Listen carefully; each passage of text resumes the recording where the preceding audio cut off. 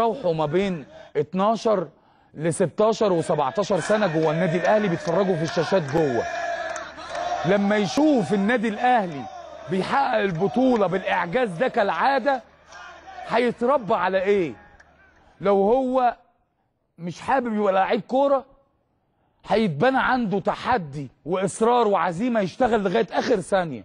وهو ده الأهلي اللي بيبني أولاده. عشان كده ما تستعجبش طالع من عندك وزراء وطالع عندك في أماكن مهمة في الدولة.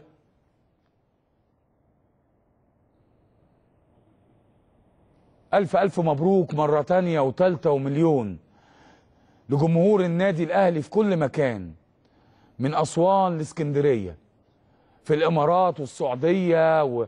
والرسائل اللي جات لنا قبل الحلقة من فلسطين رابطة فلسطين في رابطة آه، النادي الأهلي فلسطين حاجة تفرح الناس بنتواصل معاها في قمة السعادة والشاشات اللي موجودة والفرحة النادي الأهلي جمهوره عاملها في كل مكان. في ابو ظبي. والإمارات في البحرين والأردن كل الأهلاوية في كل مكان. الأهلي ده يا جماعة عظيم. الأهلي ده كبير. الأهلي اللي بيعمله إعجاز وإنجاز وتحدي كبير. آه، مش ملاحظين نقطة آه، تتواصل الأجيال ويستمر العطاء. هي جملة انتخابية بس ده على أرض الواقع حصل مع كل اللي أداروا النادي الأهلي. الثنائيه موجودة تغيب شويتين وترجع تاني. مع مين؟ مش مشكلة. أي حد يمثل الآن النادي الأهلي. أي حد بيشتغل للنادي الأهلي. آه النقطة الأخيرة موسم استثنائي في النجاحات ألعاب جماعية.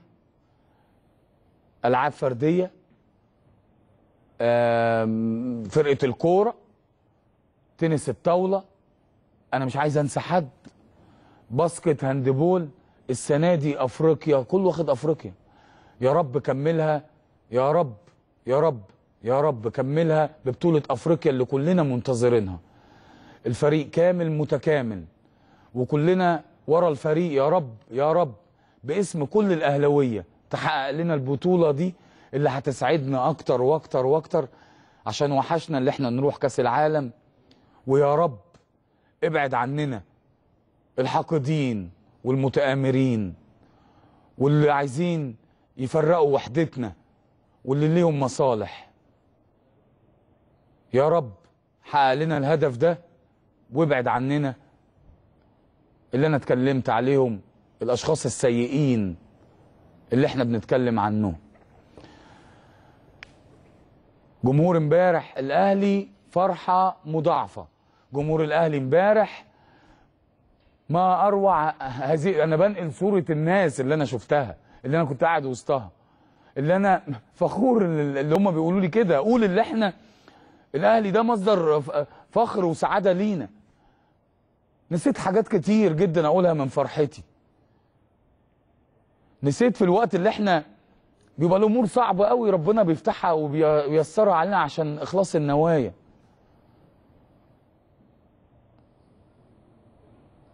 ألف ألف مبروك لكل الأهلاوية في كل مكان. فرحتونا وأسعدتونا. و و و و ونطلع دلوقتي كمان بتقرير الأهلي يعو ال- ال- الكاس يعود لبيته. و- ودولاب البطولات. صدقوني. وبنطالب مجلس الإدارة في في الشيخ زايد بقى أو في مدينة نصر يعمل لنا دولاب بطولات تاني عشان إن شاء الله لسه في المزيد. في أجيال جاية وفي أجيال موجودة. طول ما هي لابسة فانيلة النادي الأهلي هتقاتل عشان ترفع من شأنه وهتقاتل عشان تزود عدد الكاسات اللي يروح الجزيرة. ما بقاش فيه مكان عشان كده معانا كاسين جبناهم من غرفة اللواء. شيرين آه، شمس آه، المدير التنفيذي للنادي الأهلي اللي أنا بشكره الراجل فيه مجهودات كبيرة في النظام ولما بنحتاج أي حاجة ما بيتأخرش عننا حاجة مشرفة. وأكيد كمان لازم مهم جدا نعمل معاه مداخلة بعد شوية عشان نتكلم معاه في اللي أنا حكيته وهو كمان أضرب اللي أنا عايز أقوله عشان التنظيم المباريات اللي جاية. لكن آه، قبل ما نروح للتقرير مش هنيأس اللي إحنا نتكلم عن قضيتنا وهو جمهورنا. محروم اللي يبقى موجود في المدرج لكن هنشتغل وبوعدكم أكتر من الأول اللي إزاي الجماهير تبقى موجودة تساند وتدعم لأن إحنا بنحقق بطولات دي كلها أو بطولاتنا عشان كل أهلاوي يفرح. افرحوا يا أهلاوية وألف ألف ألف ألف مبروك على الكاس والدوري وإن شاء الله بطولة أفريقيا. نطلع لتقرير الكاس يعود لبيته ونرجع لحضراتكم.